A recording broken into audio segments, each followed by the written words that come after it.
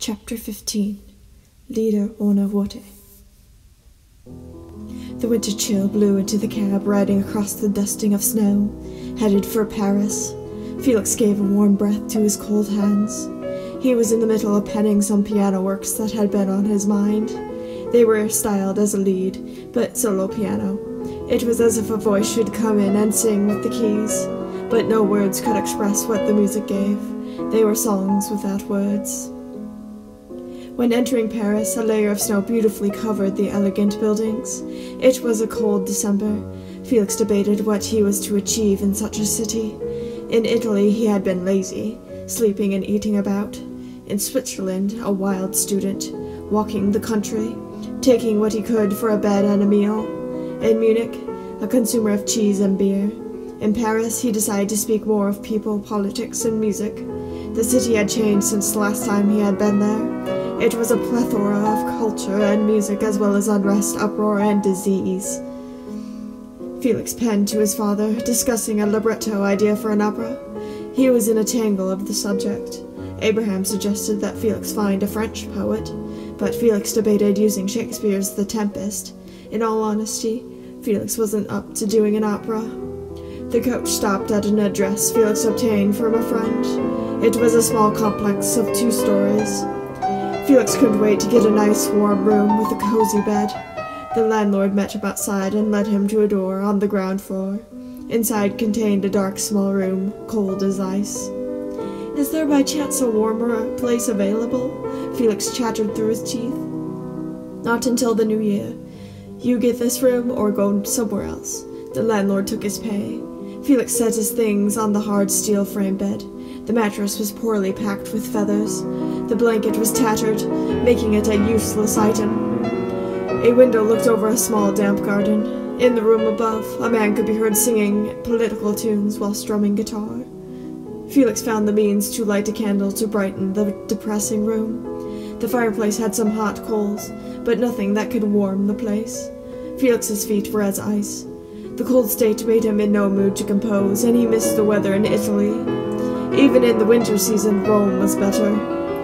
As his rooms were deemed too bitter, he became outgoing. His main friend in Paris was Ferdinand Hiller. He was a musician, younger at 20 years of age, and had been a childhood friend. Felix soon received invitation to dine at Hiller's home. When finding the humble apartment, Felix knocked at the door. Surprisingly, it was not Hiller that answered. It was an older man, strangely familiar. Felix apologized. I'm sorry, Monsieur. I thought this would be the home of Herr Hiller. Ah, but it is. You are Felix, are you not? Come in. The table is set. Hiller had to take care of some business, so I answered. The man let Felix in the home. He noticed on the sofa in the sitting room was a violin case. This man was Monsieur Baillot, one of the most skilled violinists. As Felix hung his coat, Baillot explained, I know you from years ago, when you came to the conservatory to meet Cherubini. He showed me some of your compositions, and I do say I was impressed. Now you are so grown, and I imagine your music has done the same. I'm always trying to improve. Herr Hiller walked in from another room, meeting his guests standing about. Felix, how much you've grown! I see you've met Baillot. How is your sister Fanny? Getting on well, married with a child. She still composes. Felix handed him a manuscript of her work. He brought it knowing Hiller admired her music to the full. He examined it with deep interest. Her way of writing is so neat and flawless. I remember hearing her play at the Sunday salons. I've been away from home for over a year and miss it too. Felix felt a slight homesickness. Hiller handed back the music and in turn grabbed something of his own that he composed. I think you may like this. Felix took it and skimmed it. It was an enthralling piano work. When something pleased Felix to the utmost full, it showed in the obvious. A surge of excitement came over him. It caused him to drop on the floor and roll about, channeling his built up energy. Baillot laughed. It's a good thing this floor is carpeted. Felix stood back up, exclaiming, This music is written so well. I can't wait to hear it played. His slightly overgrown hair was a bit of a mess now. Hiller teased, With that hair, you look so much like Meyerbeer. He was referring to Giacomo Meyerbeer, a composer of opera. Felix's enthusiasm instantly faded. Meyerbeer happened to be a distant cousin of his. He wasn't fond of him. The comment made him feel self conscious. Hiller knew Felix to be sensitive, so he encouraged, Come, let us not waste time in the parlor and have dinner. They all headed to the dining room. There their chatter continued, catching up on life. The next day, Hiller and Baillot spent the afternoon at a cafe. Felix soon arrived to join in coffee. Hiller gave way to chuckles upon his appearance. He had freshly trimmed hair. Baillot implied, Felix, your hair looks well cut. Was there a reason you got a trim? Hey, they have chess here. Felix distracted their amusement. Let's play a match. He sat at one of the chessboard tables. Baillot joined him, and Hiller sat close by to watch. Felix, being an avid chess player, rendered hard to beat. Baillot tried a few times, but always a hair off. After the afternoon hours passed, the old man assured, Next time I will beat you. Felix shook his hand in sportsmanship. The three of them left the cafe to go their separate ways for the evening. As Felix walked towards the carriage, he thought over his plans, music wise, in Paris. Unlike Munich or London society, it was a struggle. He contacted the directors of the Paris Conservatoire to host a concert, but there was much quarreling. There were much larger names in Paris at the moment. Meyerbeer had his operas, Paganini was packing the concert halls, Berlioz found opportunity, Franz Liszt was making a career, and Chopin had arrived. Felix consulted Baillot on the matter as he had influence in Paris. He suggested finding Cherubini, but not to guarantee anything as the aged man's grumbling mood only grew. For the younger generation of directors, what they wanted musically was that of the Romantic school. Felix thought the Romantic school had infected all of Paris society. The music depicted nothing but darkened themes of murder, misery, the plague, the gallows, etc. A prime example was Berlioz. Felix loved him as a dear friend, but couldn't come to adore his music. Berlioz invited him to a concert that included his orchestra work, Symphonie Fantastique. The style had received good success in Paris. Berlioz happened to not be conducting, so he sat with Felix in one of the boxes above the floor level. As soon as the music started, Felix began to feel sick to his stomach. To his ears it was a frightful muddle, an incongruous mess. He felt the need to wash his hands if he ever had to handle such a score. The music kept going in all morbidity, sending shivers up his spine. Berlioz noticed Felix in an ill state as he refrained in his seat.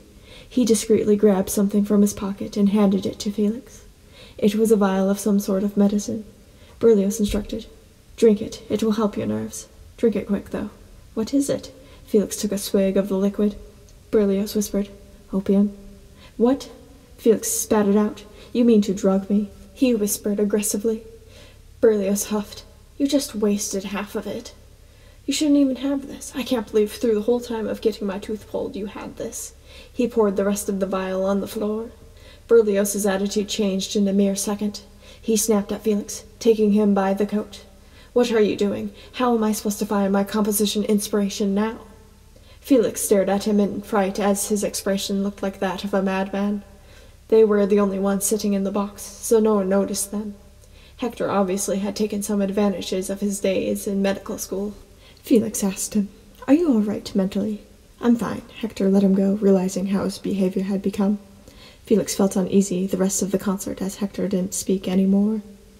Later, Felix was asked to write a review of the concert. He wrote one deeming the music sickening. Even though Felix's opinions were negative, Berlioz still kept company with him. He sat in at a musical gathering at Hiller's home, where he heard Felix play Beethoven at the piano. Berlioz determined that Felix understood Beethoven, but didn't understand Berlioz. In the meantime of no concert opportunities, Felix became a bit lazy, eating out with friends, sleeping, not composing, and blaming the cold air. His letters conveyed tiredness, and his mother sensed it. She worried about her son, as he had been traveling hard for nearly two years. Felix assured her that he was getting on well. In catching up on things in Berlin, nothing much had changed. The only sad news was the passing of his old philosophy professor, Hegel. Soon a concert of interest finally came up, and Felix was determined to go. Chopin would be playing in a recital at the Pleyel Rooms, along with other well-acclaimed pianists. The paper spoke grandly of Chopin. Felix sensed that Kalkbrenner had a strong influence on the paper's claims. On the day of, he went to the Pleyel Rooms and found a chair in the fancy recital hall. Everyone was dressed quite elegantly. Felix, of course, had a nice suit. He sat next to a gentleman, facing the other way. He had rather long hair, longer even for a gentleman that preferred long hair. When the man turned around, Felix felt a wave of shock. This was no man. It was a lady, holding a top hat and wearing trousers. Who are you? Felix had to ask. The woman near laughed, at his disapproval. Aurora, but most know me by my pen name, Sand. You're George Sand. Felix could not believe all of those books he read were by a woman under a pen name, who wore trousers. The other gentleman didn't take note of her dressing and greeted her as any other lady. Obviously, people knew her. Felix's disapproving thoughts were interrupted as Kalkbrenner sat next to him. He greeted him in all kindness. Ah, a familiar face from Munich. It's nice of you to be here. I heard that you got to play music for the royal court of Munich. The king approved much of it. May I ask how you got to be in such company? The queen first invited me to improvise at a gathering of the court. Oh, you must have been such a commoner among them. Kalkbrenner glanced at Felix's appearance as if he were unsuitable to be in the presence of aristocratic society. Felix stated, They were all kind and good-hearted to me. They loved my music. Their conversation ended as everyone took a seat, indicating the beginning of the recital. The first to play was a familiar man who went to the elegant dark wood piano. He had medium-length blond locks. His smile showed pure white, clean teeth. A lady in the audience waved a fan as she blushed at him. Felix's self-confidence went down the drain as the man noticed him and gave a cocky nod. He sat at the keys and glanced at the audience, then raised his hands over the keys. His fingers were incredibly long. Felix glanced at Kalkbrenner, who seemed to have a worried expression. The man at the keys then played a plethora of thirds and octaves, chords as big as his finger span. This was Franz Liszt. After a few impressive tunes, he played variations on the theme of Paganini. It was obvious Liszt adored his music. Felix, having seen Franz play when they were adolescents, felt his music had improved. It was still a bit much, but it was exciting. Everyone clapped and the lady swooned after the performance. Felix was curious of how Chopin played if he was supposed to be the best pianist in Paris, as Kalkbrenner claimed. After Franz made his leave, the recital hall became filled with murmuring, as the next pianist had not entered. Kalkbrenner seemed in a nervous rage. After a few more minutes, he stood and went to the door that was near the piano's platform. He was gone a while. Finally, the door opened again, and a young man appeared. He stood in the doorway, trembling. His complexion looked a bit worrisome, as his face was on the pale side, and his stature rather thin. His brownish, dark blond hair was nicely styled, and his outfit well maintained. Upon seeing the audience, his eyes seemed to widen all the more. Everyone looked at him, waiting. Kalkbrenner came up behind him and strongly nudged him out of the doorway. He told him in a whisper before heading back to his seat, You better play your damn best. Felix, sitting in the front, heard Kalkbrenner's comment and thought it awful. It was obvious the pianist was near scared to death. The nervous mess of a man went to the keys. He wiped his face and hands with a handkerchief. This man had much smaller hands than Liszt, and drowned in anxiety rather than haughtiness. The ladies that had swooned over Liszt now seemed unimpressed, except for one woman, George Sand. She looked at the musician with awe. Felix glanced at the program, as he was unsure if this was really Chopin. The paper didn't seem to be mistaken. Before he looked back up, the man finally began to play. Felix could not believe the fragrant sound that blossomed from the keys. All anxiety seemed to be lifted as soon as the wistful notes resonated.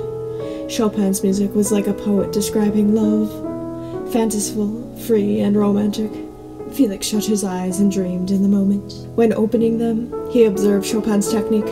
His fingering seemed different, not always correct, but it gave the same results in sound, if not better.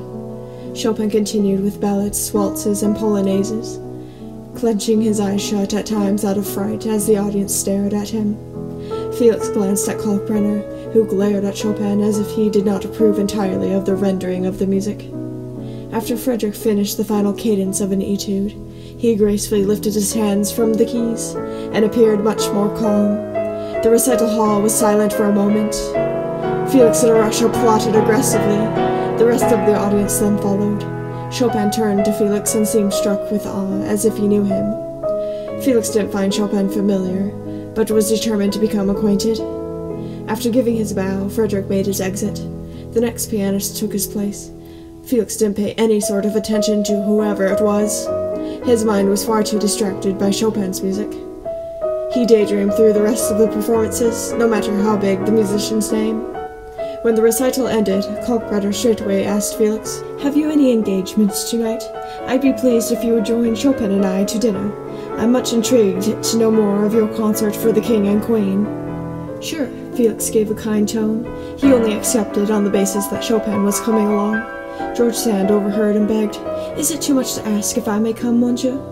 No. Kalkbrenner turned away to engage conversation with another. George rolled her eyes, storming away.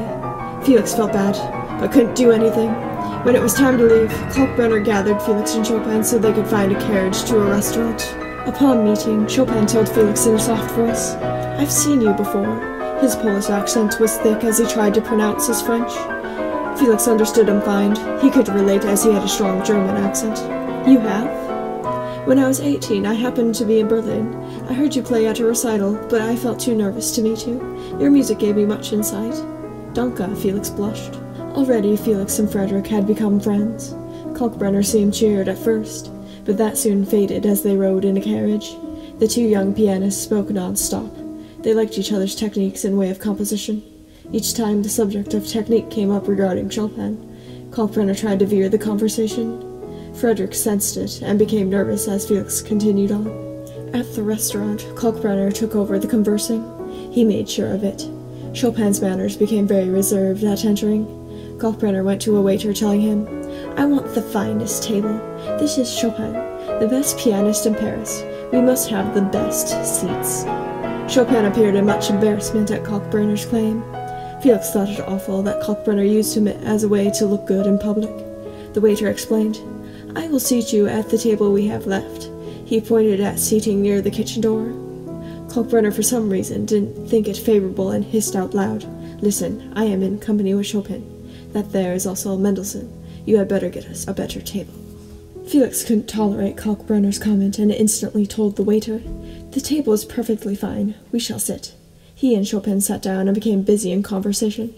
Frederick seemed to have much relief to talk to a decent and kind musician. Kalkbrenner still stood by the waiter, arms crossed in a posh stature. Felix glanced at Friedrich, who eyed Felix with much contempt. Yet when he finally sat down next to him, he became full of kindness towards him. He interrupted his conversation with Chopin, asking more about how he became in royal company. It was all he seemed to care about. Thankfully, he soon had to go use the restroom, so he left the table. Felix turned to Frederick eagerly. So, you have anything going on tomorrow? No, wait, I forgot. I'm to be at the conservatory with Kalkbrenner. He has been making me attend some of his own music classes on piano technique, as he believes mine need much work. I know I do some things different, as I am majorly self-taught. My mother started my piano education, but my first real instructor was a violinist. He had good pointers, but he was no pianist. You do not have bad technique. Skip it, and we shall spend the day with much more favorable musicians. I don't want to displease Kalkbrenner. He has helped me much. I think he's helped enough. You have proven yourself well. You should be in control of your own career. In fact, let's go find my friends now. Felix stood. Chopin seemed quite unsure. I don't think we should abandon Friedrich. He is in charge of me. I have a performance next week, and he's helping me organize it. We are still looking for musicians. You are old enough to be in charge of yourself. Besides, I'm a musician and my friends are. There's plenty to go around for what you need. All right. Chopin got up with confidence. They both left the restaurant, abandoning Kalkbrenner. In the streets of the evening light, Felix spotted Hiller and Baillot going for a stroll. All was well when introducing Chopin. The next week, Felix and his friends helped Chopin organize his coming performance. The concert involved other composers as well. The pieces Chopin chose for his part involved six performers piano and strings. Felix volunteered to play viola. Baillot, of course, took up violin. The rest of the spots weren't hard to fill. There was no shortage of musicians. Frederick seemed relieved in happiness in the company of his new friends. The rehearsals were well and positive, yet the day before the concert, Kalkbrenner came to catch up on the progress of the performance. He didn't speak to Chopin at all. Instead, he gave much kindness to Felix at each break or chance he got. Felix thought it strange, even after he proved Friedrich a fake at improvising and abandoned him at the restaurant. In other means, the concert happened in the early afternoon the next day. Chopin found much success in his segment of the concert. It even gave opportunity to the other musicians, including Felix. He was surprised to find a dinner invitation upon returning to his rooms. It was from the Comtesse de P. Felix wrote an accepting reply, then noticed another dinner invitation. This one was from Kalkbrenner. He wanted Felix to his home, as his main abide was in Paris. Felix tossed it away as he had a better engagement. He left his rooms in the evening to the large home of Comtesse de P. Her dinner was quite formal. The long table fit a party of people. Felix sat next to the Comtesse. Among one of the guests was Franz Liszt. He sat towards the other end of the table, surrounded by ladies that had attended a concert of his a few hours prior. Though Liszt had much company, everyone became intrigued by Felix. His speech that evening rendered especially witty. He had brought drawings with him, making everyone astounded at how well the landscapes were penciled.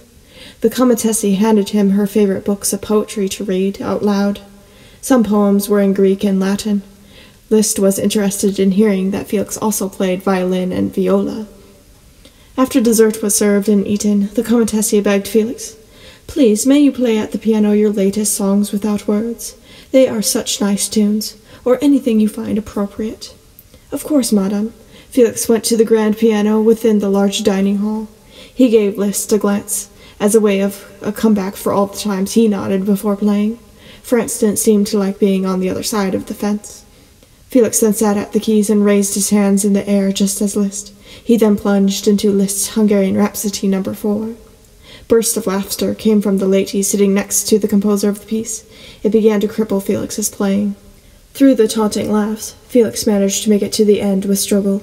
He stood to see every guest holding their giggles. The Comtesse held a laugh as well. Franz stood up and went to Felix. He gently took a hold of his hands. Your fingers are far too delicate and nimble. Since you butchered my music, I shall play yours with much ease. Have you some music I could read? Felix handed him his G minor concerto without a word. Franz took it, then sat. Instead of raising his arms over the keys in his usual attack, he decided to imitate Felix's stance. Pretty and delicate. At sight he read the work. Felix could not believe the accuracy and emotion put in. It was the best performance that piece ever had. After Franz finished the marvelous rendition, Felix looked at his hands. They were quite big, and his fingers were incredibly long. The webbing between them was much less than the average person. Felix joked. I would have asked you to do a boxing match instead, but I don't think I'd fare well in that option either. He laughed a bit. Franz brightened him. We both have our own skills. Let's leave it at that. The rest of the evening went on in cheer. Felix played some of his songs without words to please the Comtesse. He also began to have a better acquaintance with Franz as they spoke more at the table. What could have ended up an unpleasant evening turned out to be one of the best. At the strike of noon, Felix sat in a dining hall next to Hiller. It was in a grandiose home, showing its price by far. The table, fine mahogany, the chairs, maple with intricate carvings, the walls, gold leaf embroidery, the floors, checkered marble. Even the food looked like royalty. A grand piano, produced by Kalkbrenner's company, stood in the room as well. Felix and Hiller had accepted a lunch invitation from Friedrich. Hiller was amazed at it all, for now he was not yet acquainted with the man. Felix knew every bit of decor was for show. Kalkbrenner wanted to impress at his best.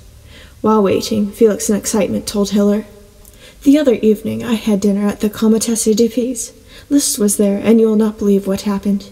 He played my G minor concerto at sight. Of course he did. If he would have done it a second time, he would have had something to add to it. Their conversation ended as their elaborate host entered the room in his finest attire. He gracefully took a seat across from Felix. Hiller already felt quite out of place. The atmosphere to Felix reminded him of his time at the royal palace in Munich, among the court, where he was a commoner. A few servants served a large platter of finely roasted ham. The food looked picturesque, as the meat had a mouth-watering smoked skin and rested on a decorative bed of lettuce. Roasted carrots and soup accompanied the main course. A servant cut the meat and served it. Hiller dug into his food straight away, thinking this to be the best lunch invitation he happened upon.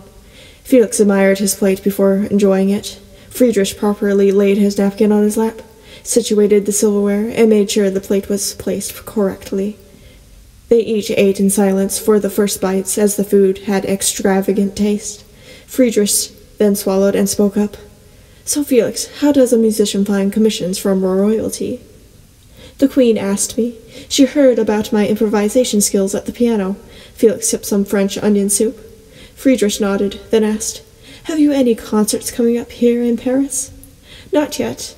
I have to get the conservatory to accept my music. I'm not their first choice at the moment. I bet you will have a grandiose concert, playing on a Kalkbrenner piano, of course. Why don't you try my piano over there? It's the finest Kalkbrenner piano in existence. Not today, Felix bluntly declined. He didn't want to feed into the narcissistic musician.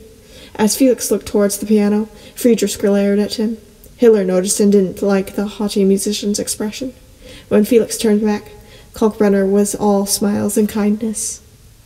In the coming week, while the conservatory still fussed over doing a concert, Felix decided to get some music published. There was quite a bit he wanted in print. A quintet, octet, the latter also arranged as a duet, The Midsummer Night's Dream, seven songs without words, six songs with words, six pieces of sacred music, and the Symphony in D minor. Some publishers interested in his music requested a few alterations, so Felix gathered together the music that needed revising. He deemed the Hebrides overture needed to be put in that pile. The modulations in the middle savored more counterpoint than the train of oil, seagulls, and saltfish. He liked the work too much to be performed in an imperfect state. The Italian symphony was a mess in editing as he couldn't decide on themes. When consulting Fanny by letter, she thought the original was best. It left Felix feeling torn, so he set it aside. In other engagements, he received notes every day inviting him to parties, music gatherings, and balls. It excited him to go to each one, but it distracted his composition work. To make time, he set aside the early hours of the day. As Felix played at very small gatherings among musical society, his talents were quickly recognized. Word finally convinced the conservatory, and they selected his music for two concerts. The pieces that interested the music directors were his piano concerto and the overture to A Midsummer Night's Dream. Rehearsals then consumed Felix's time to the full. The conservatory's orchestra was one of the finest he had ever worked with, minus the fact that the second oboe was missing for the overture. In one run through the piece, it was noticed that the drummer had left, so Felix took the timpani sticks and played a fine closing drum roll.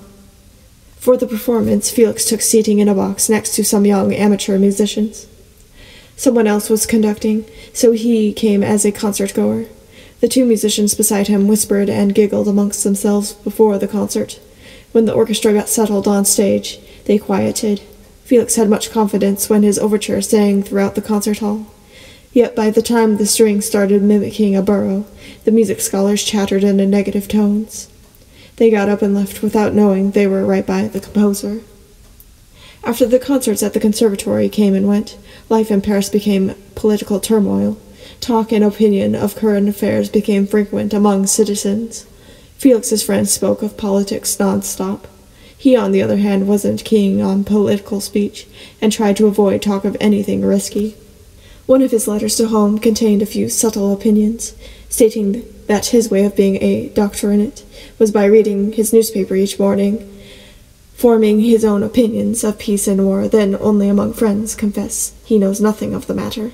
To him his friends looked quite foolish with their gripes of temporary subjects. It was true that there was much chaos, as street raids often commenced, but Felix distracted himself from the frightful fights by composing or reading. Currently, there were some fantastic novels in the bookstores. Victor Hugo had become a popular name in the world of literature. Just within the year, Hugo published The Hunchback of Notre Dame. It made the old cathedral noticeable as a destination, in which pushed the people of Paris to have the rather neglected structure restored. Felix took his copy of the book with him on a stroll to see Notre Dame. The Gothic structure was breathtakingly tall and intricate. At a bench nearby, he sat to read. The essence of the story felt more so conveyed while at the real setting. Enjoying some of Victor's stories, are we? A familiar voice came up to Felix. He set the book down to see Franz Liszt. Felix nodded. His writing definitely makes one feel within the story. He glanced at the cathedral behind him. Franz smiled and gestured to Felix to follow him. I do wish you to come with me to where I am going. I think you'll find it quite of interest. All right, Felix followed Franz as he walked down the street. They went a few blocks before stopping at a decent neighborhood. Franz went up to a door in a line of crowded city houses. After knocking, a servant answered and let them in.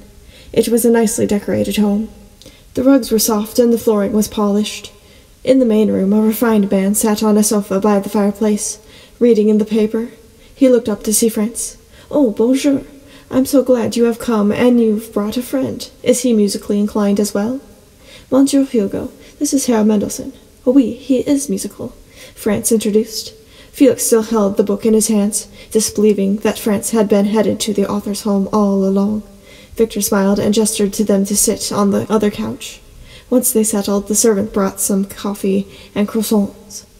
Victor explained to Felix, I've been acquainted with Franz for a while. He's been teaching me piano.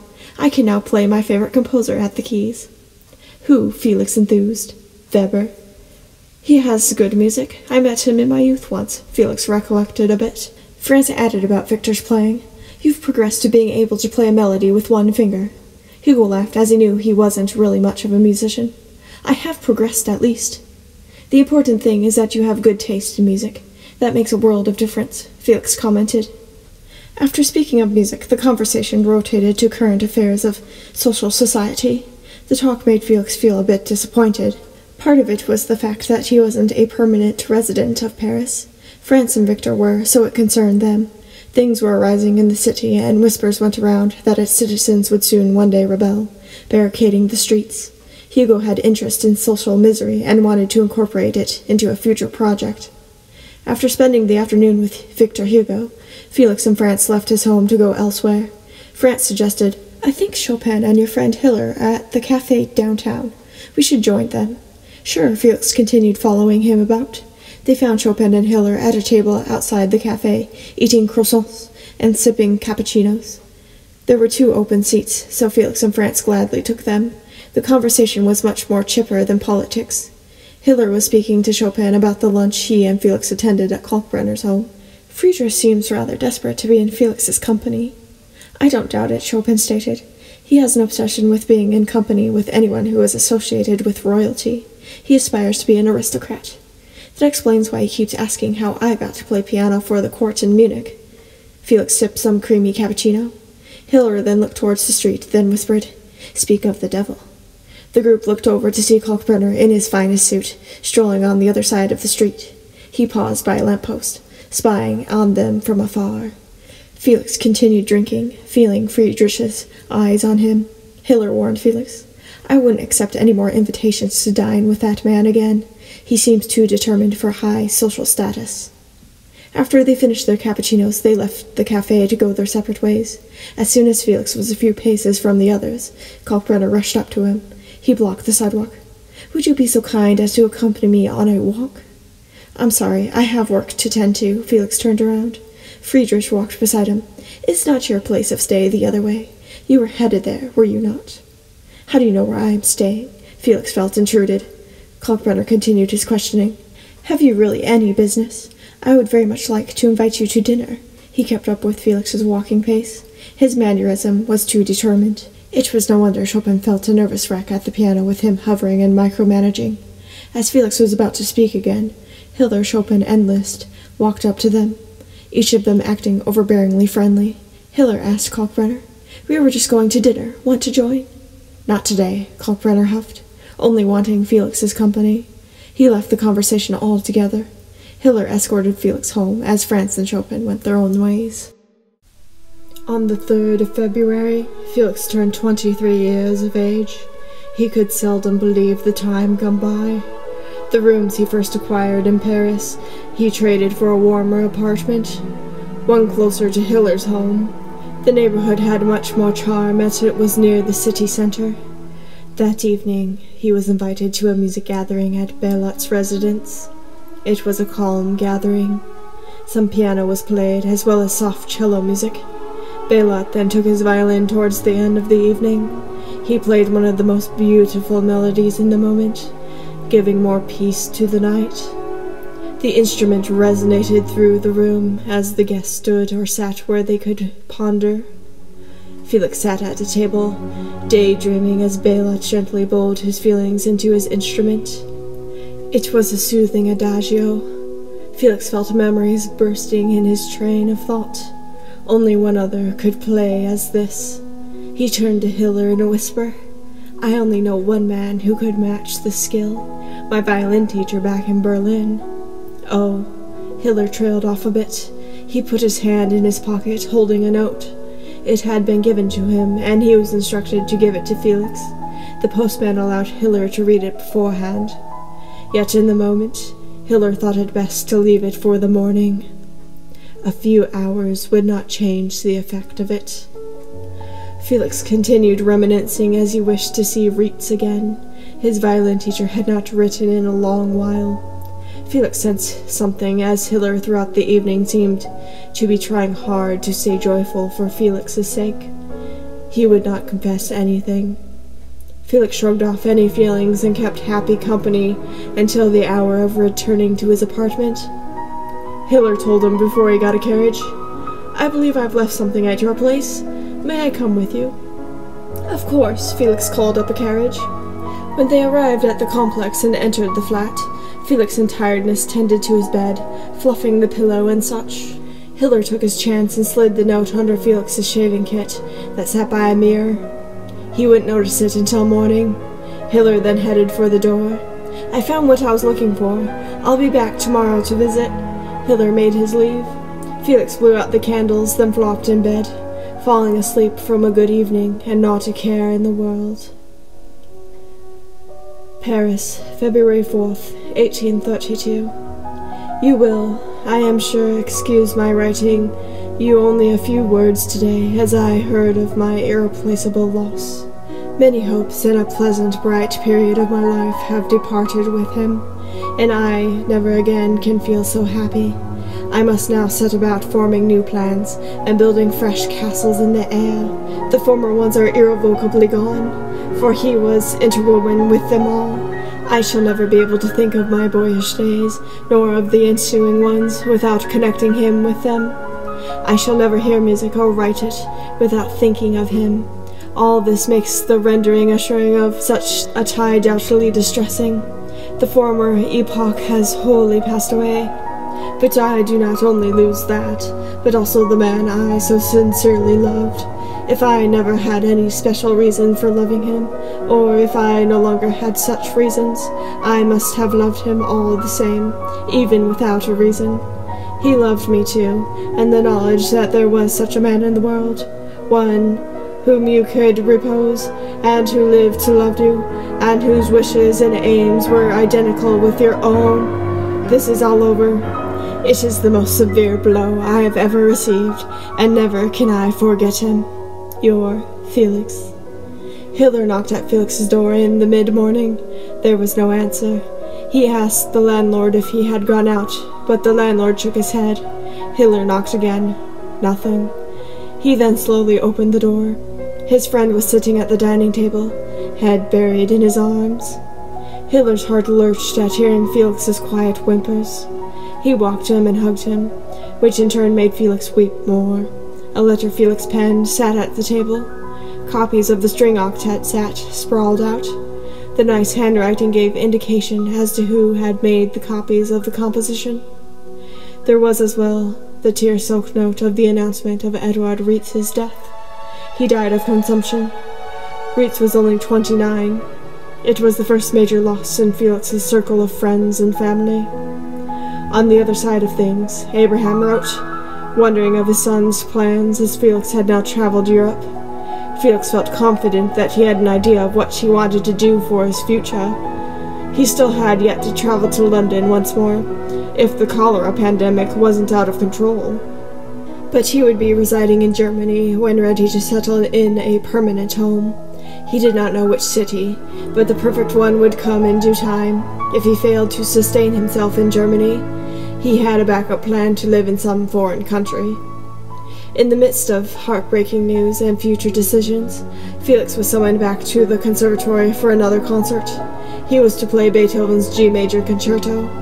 The whole royal court was to be present, as Felix's good reviews from the Munich court reached Paris.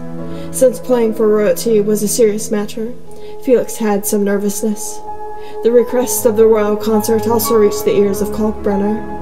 His desperation turned to envy in a flash, trying anything to dissuade the conservatory from choosing Felix for the concerto.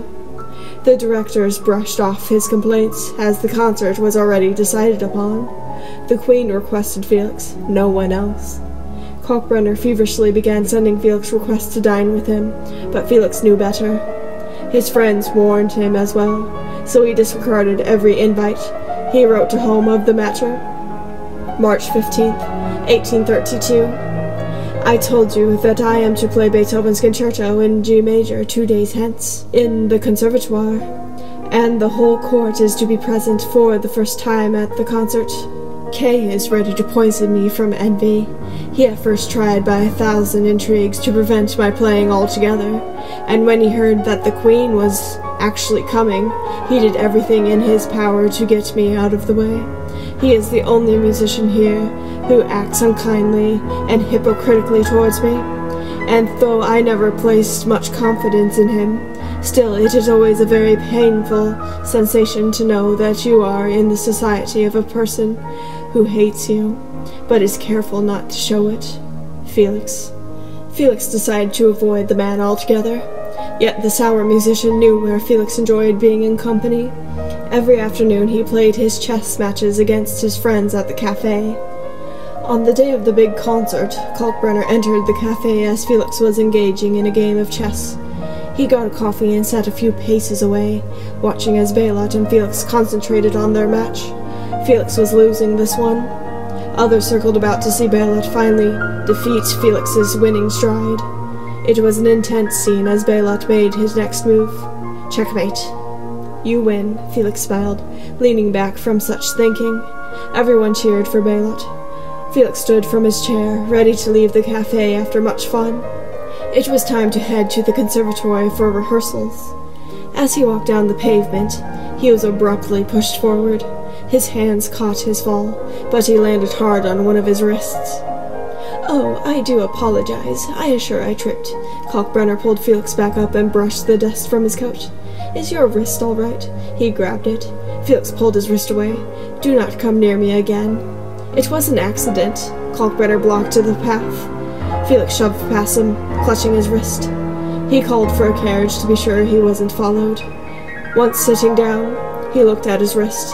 It turned out to be fine after moving it a bit, but it could have been worse. Felix knew Kalkbrenner was desperate, as there were only hours before the concert. That evening, the royal court arrived for the concert. The rehearsals beforehand had gone well, ending early, so Felix spent the extra time preparing in the dressing room. He decided on his favorite outfit, the one with the blue coat. It was almost complete as he tried the formal black cravat. As he situated it correctly, he stood in front of the mirror. He looked quite well. When admiring his attire, a voice behind him warned, Don't look into the pond too long, you'll fall in. Felix jumped and in an instant turned to face Friedrich. How did you get in here? He backed up a pace. Friedrich assured him, I only came to give good luck at this grand concert. It would be a shame if you suddenly couldn't get to the stage. The Queen would ask any capable musician to play the concerto. Luckily, I'll be by the stage. Felix was quick to realize he had intentions, so he made a sprint for the door. Friedrich pulled him back and shoved him out of the way, causing him to fall against the mirror. It cracked as his back hit it. Felix managed to pick himself back up, but by that time Friedrich had left the room, locking the door. While pounding at the door made no use, Felix resorted to yelling. It was a few agonizing minutes before Hiller found him in a panic, not taking note of the situation. The king and queen are getting impatient. You're late. We must hurry. Kalkbrenner's trying to take my place. Felix dashed past Hiller. They both rushed to the stage. The closer they got to the auditorium, the louder the ranting of an impatient audience became. Hiller brushed past Felix as he spotted Kalkbrenner backstage, about to go on. As he pulled Friedrich back, Felix entered the stage, calming the crowd. He sat at the keys, and the concert went on as normal. Afterward, the whole court gave their positive remarks. The queen especially loved Felix's skill and sent him many compliments. Kalkbrenner watched from afar the company Felix received, causing him to leave the conservatory in a huff. Felix's time in Paris was coming to an end. There were still nights of music and last minute opportunities.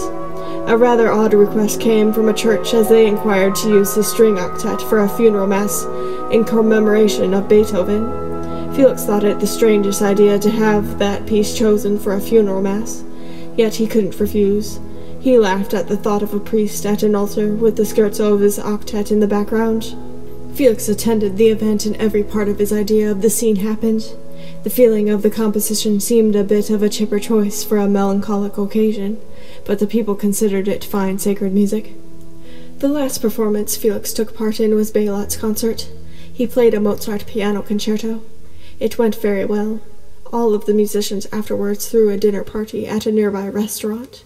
Felix decided to join, but not too long as he wanted to pack that night to leave Paris by morning. He sat by Hiller and Chopin through the evening. Hiller mentioned to Felix, I hope you'll be safe getting to London. I hear the cholera is terrible. It's probably not as bad as here. Chopin pointed to some papers on the table. Felix shrugged. I'm not worried about it. I'll be careful not to get too close to anyone. After London, I think I've decided on residing in Germany. That sounds nice, Chopin commented. I think my official home is here in Paris. This place suits you well. Felix sipped a mug of water. He grimaced after tasting it. Hiller questioned. Something wrong? Water tastes bad. It's not poisoned, is it? Chopin teased. Us composers must be careful after Mozart's demise. Oh, that's such folklore. Felix rolled his eyes. Hiller and Chopin chuckled. After a few teases, Felix stood to make his leave for the night. All of his friends bid him farewell. It saddened him, but he needed to be back with his London friends. He eagerly packed up his luggage to make for an easy leave in the morning. Yet as he folded up his clothes and gathered his music, a slight stomach ache became a bother. He figured it to be the food at the restaurant, but Chopin's comment lingered in the back of his mind. Reconvincing himself the thought to be foolery, he went to bed. The next morning, London was going to have to wait. Felix couldn't will himself out of bed, as he had woken to a mild fever and terrible stomachache. The landlord came to his door, as he knew Felix intended to leave by morning but it was now noon. When he saw Felix ill in bed, he instantly called for a doctor. When a doctor came, he diagnosed him. I believe you have caught cholera. You're showing a few of the same symptoms I've been seeing all too often lately. Your case is quite mild. Let me guess. I'm stuck in Paris a while, Felix replied. You'll have to stay at least a fortnight in quarantine. There is not enough known about this disease. I can't risk you spreading it. The doctor left it at that. Felix read and wrote letters to friends and family in his time stuck in his rooms. As he thought that would cheer him, his father sent a note with a blow to his heart. Goethe had died. It put Felix in a gloom all over again as it reminded him of Rietz. He concentrated on his composition instead. The newspaper came every morning, giving Felix some more to read. It was full of articles on cholera and such. It wasn't determined how it spread, but so many were refraining from attending events and occasions in case it was from person to person. After the extra two weeks in Paris, a cold winter, and the loss of friends, the spring gave bloom to lilacs and lilies. Felix left Paris to return to his favorite city, London.